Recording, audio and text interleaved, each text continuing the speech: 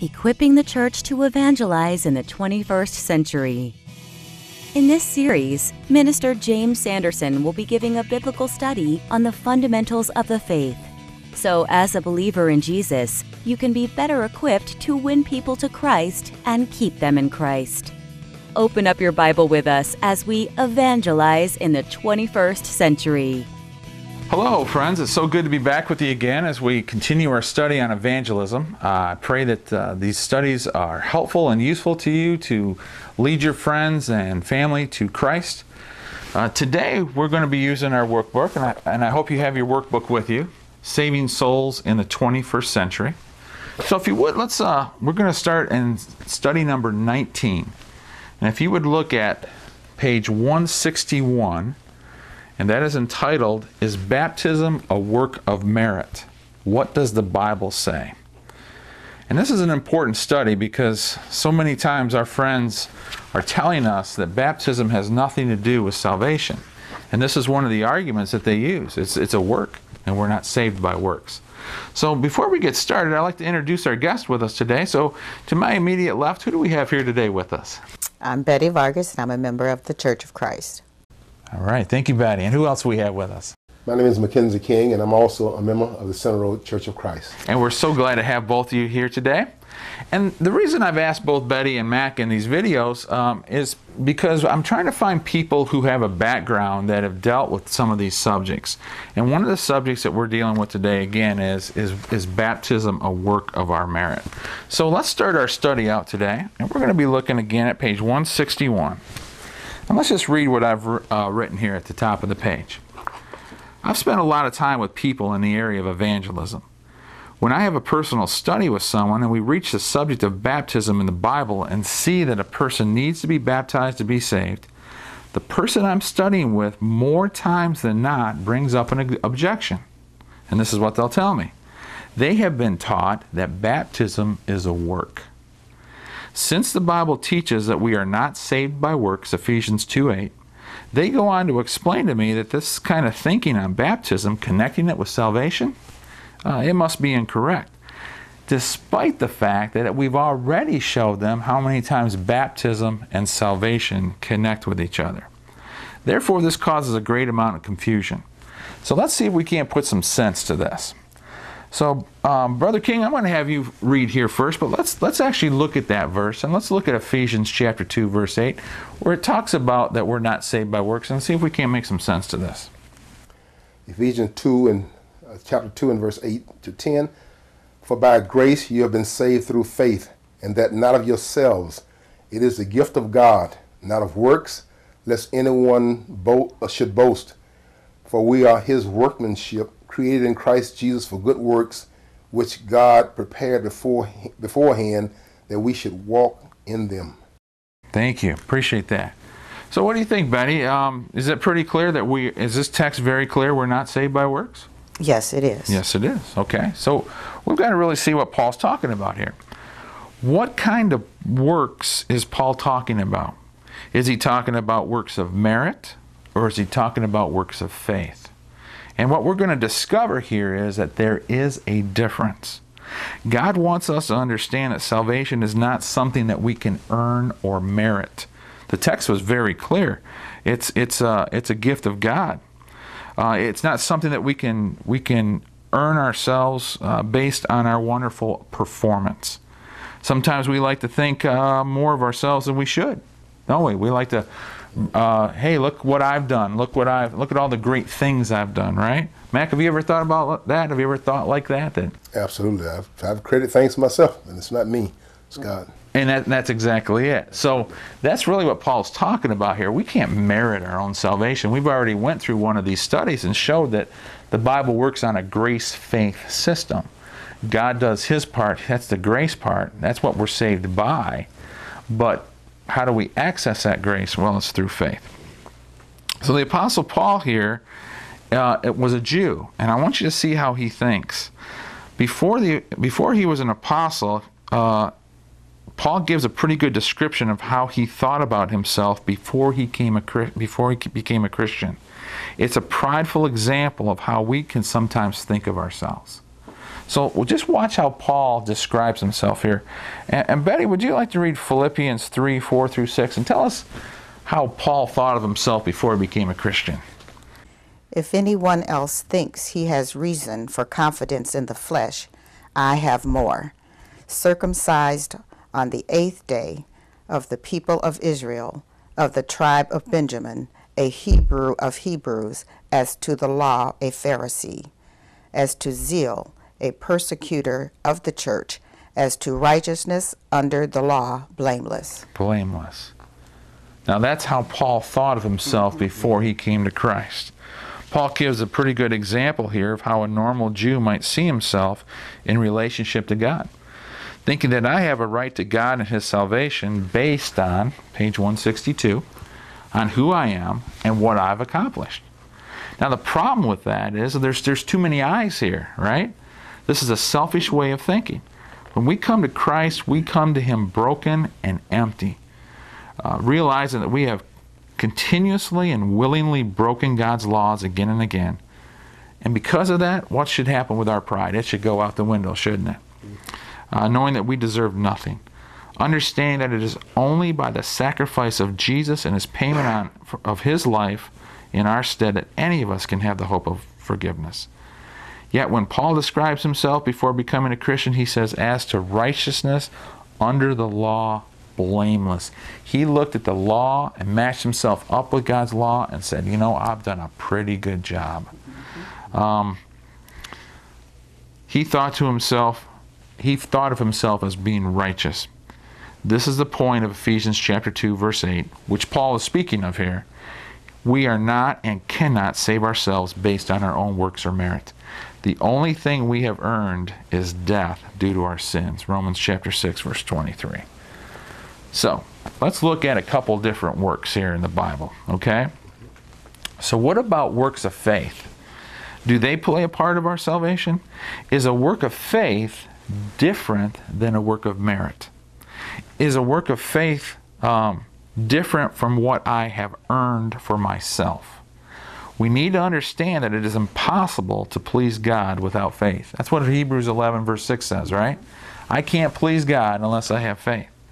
Faith in the Bible is also always an action word. That's what James chapter 2 verse 14 and through 17 says. So so that means if I have faith, I'm going to be doing something, right? In fact, the only kind of faith the Bible teaches is an active and obedient faith. So, we need to balance this out. Okay? Is Paul talking about, about works of merit or is he talking about works of faith? That's the question. Is it grace that saves us, or is it faith that saves us? I think that's a good question. Now, you might be asking at this point, what is it that saves us? Is it our active and obedient faith, or is it Jesus and his payment for my life on the cross? The answer is found in Ephesians chapter 2, verse 8.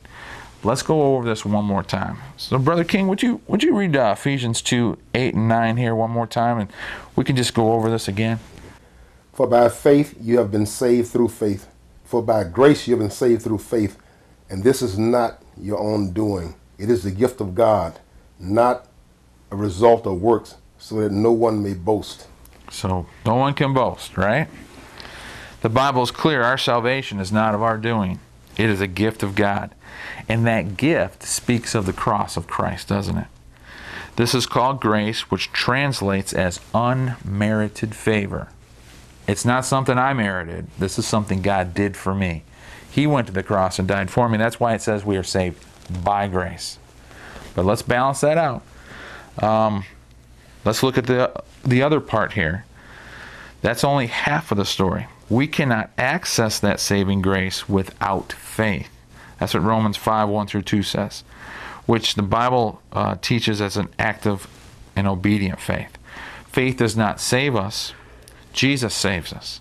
Faith is only a response to God's saving grace, but it is a response that God requires of us so that salvation can take place, right? If we're going to please God, how are we going to do it? Hebrews 11:6 by faith. So it is through faith. So do you see how how how it works? Both parts are an important role. Grace is God's part, faith is man's response. But let's make this clear without grace, faith would have nothing to stand on. So you have to have both coming together for salvation to take place God's part, man's part. Now we're going to do what we're going to do is we're going to bring this back to baptism. All right? How does faith connect to baptism? How does baptism play a role in our salvation? That brings us to the subject of baptism.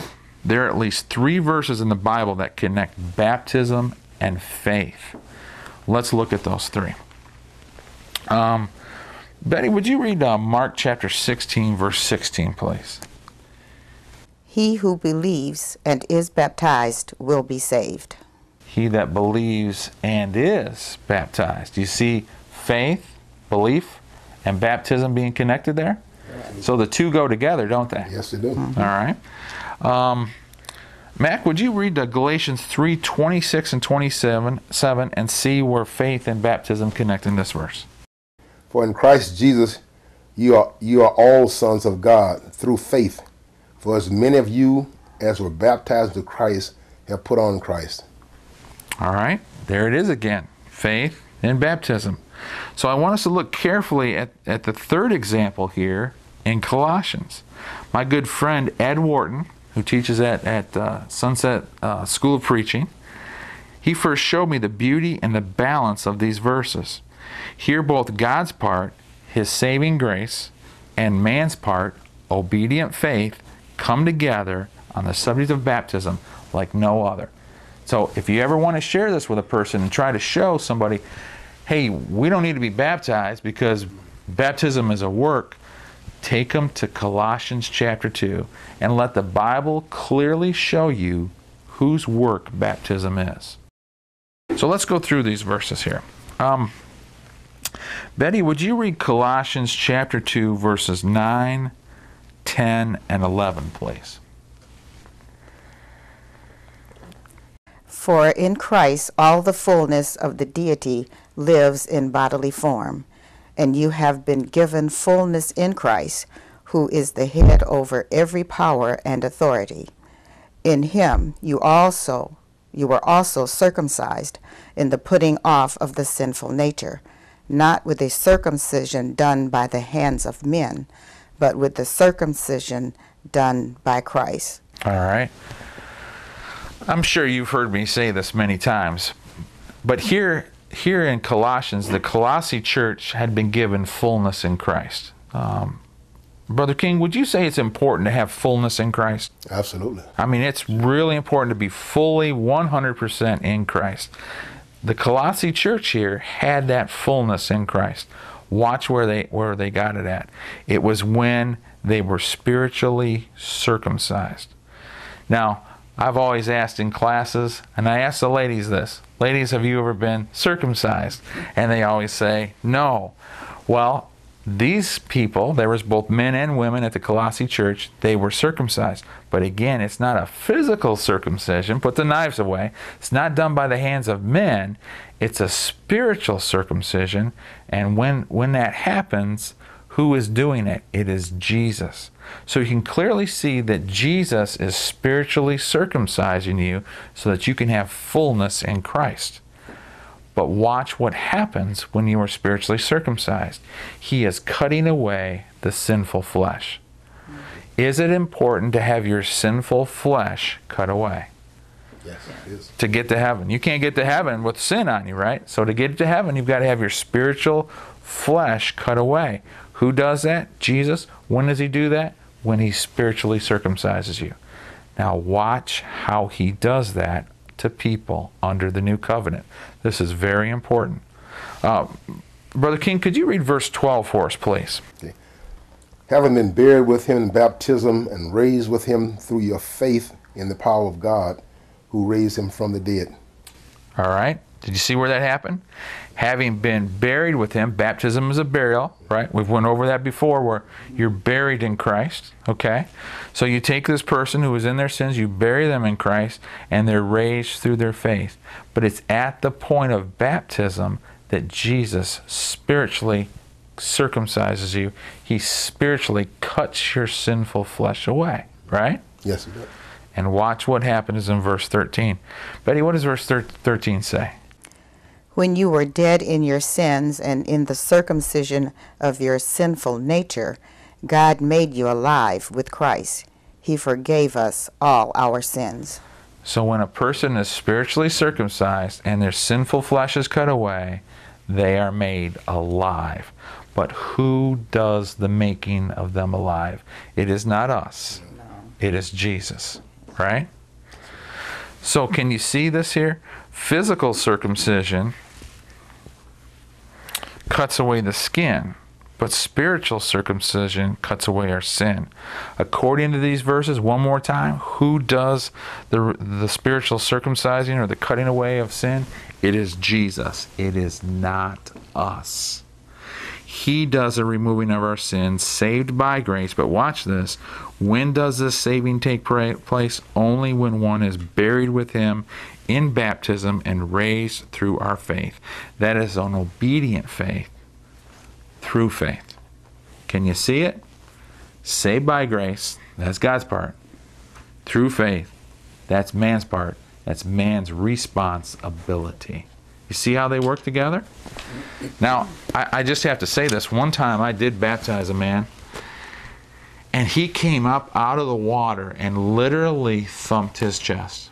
And he said this Look what I have done. Now, who is he bringing the credit to? Himself. Back to himself. In that instance, for that person, he is making baptism something that he did.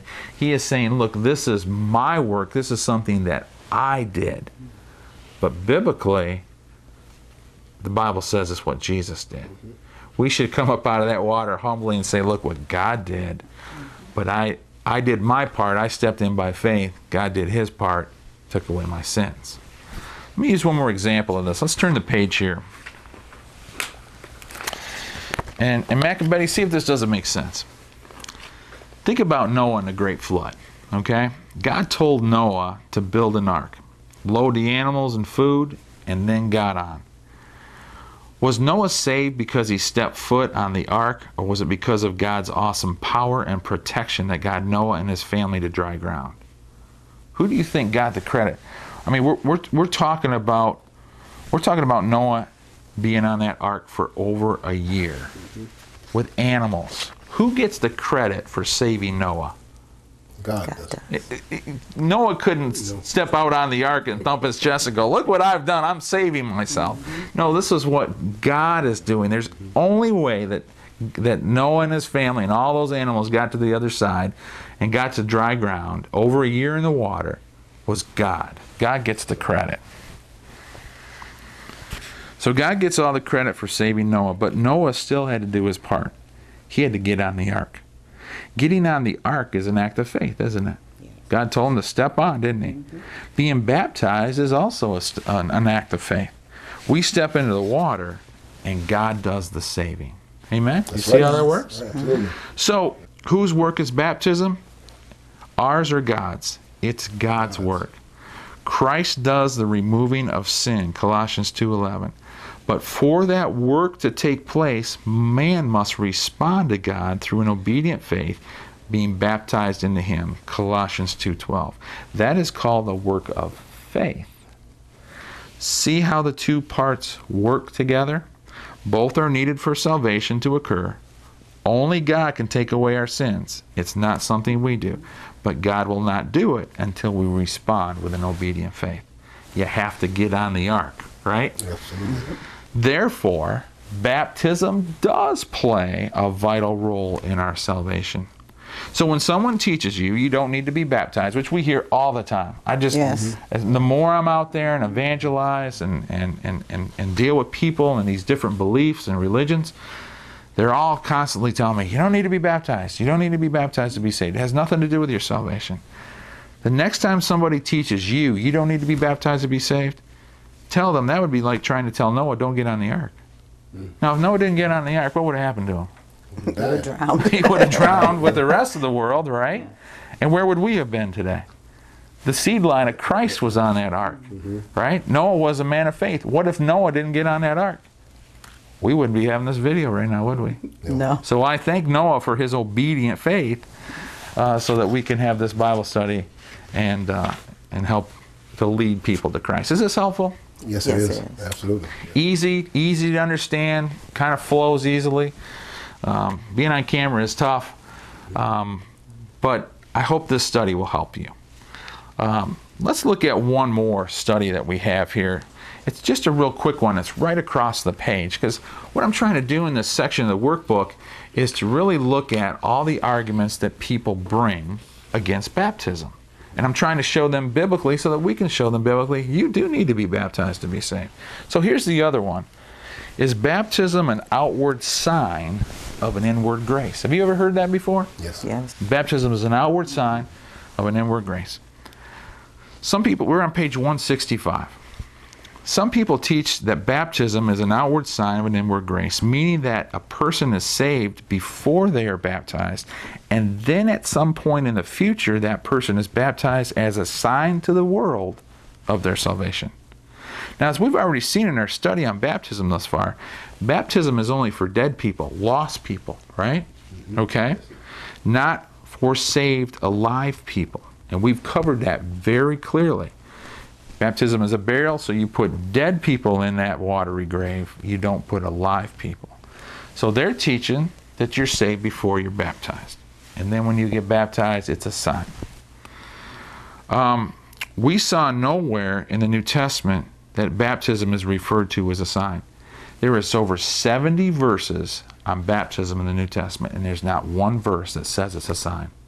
So this is this is a theory that's come up. People say it so much, they get to believe in it, right? But the Bible does not connect baptism as a sign. Um, but it does connect the Holy Spirit as a sign.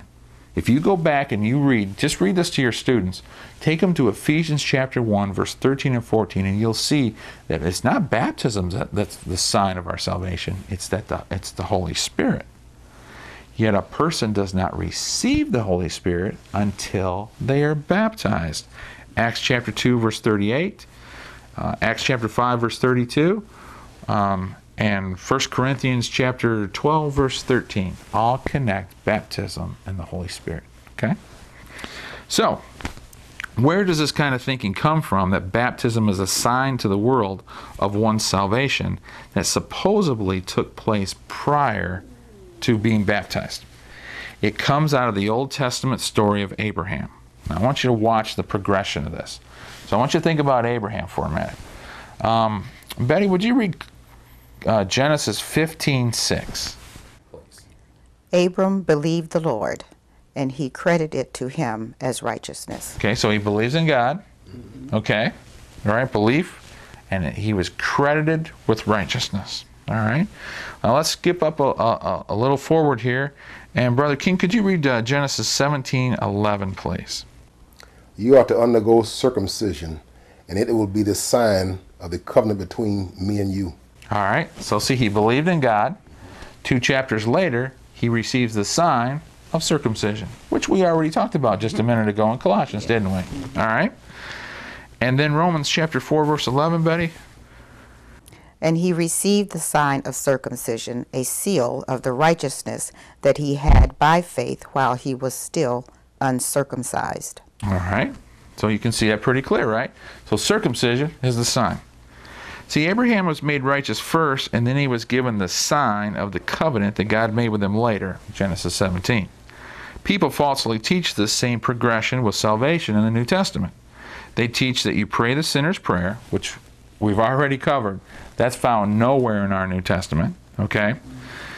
And and are saved and made righteous before God. Then later after the prayer, like Abraham, you are given the sign of the agreement at the moment you're baptized. Baptism, an outward sign of an inward grace. Do you see where they come up with this theory? Now, what we're going to do is we're going to try to see if that theory is correct with the Bible. So, is circumcision of the Old Testament the same as baptism in the New Testament? To answer that question, let's see the similarities and the non similarities between circumcision and baptism on the chart on the next page you will discover that baptism of the New Testament is not circumcision of the Old Testament. Thus, baptism is not an outward sign of an inward grace. So this is a false teaching and should be rejected. So let's go to the next page here and let's just look at this chart. And I'm sure you're going to see this chart up on the screen. Um, but uh, Mac, do you see uh, circumcision there? Yes, I do. And then baptism. Now, what we're going to do is we're going to try to show if they are similar or not. Okay? So, circumcision, when you go to Genesis 17, verse 12, it was to be done on the eighth day of life. All right? Now, let's talk about baptism for a minute. When, we, when, when baptism is done, it's done to a person who is old enough to be taught and chooses to do it. Right? That's what Acts chapter 2, verse 41 says. Those who accepted the message were baptized. Babies can't accept the message, right? So these people are older. They understand about their sin. They're being they're able to be taught first, right? And then they respond to baptism. There is no examples of babies being baptized in the, in the, in the Bible. So, what do you have? You have a difference between circumcision and baptism. Circumcision was done on the eighth day of life. Baptism is done when a person's older. So is circumcision and baptism the same thing in this category? No. No, they're not. Okay. Um, circumcision was done, right, Betty? Genesis 17:10, only for the male child.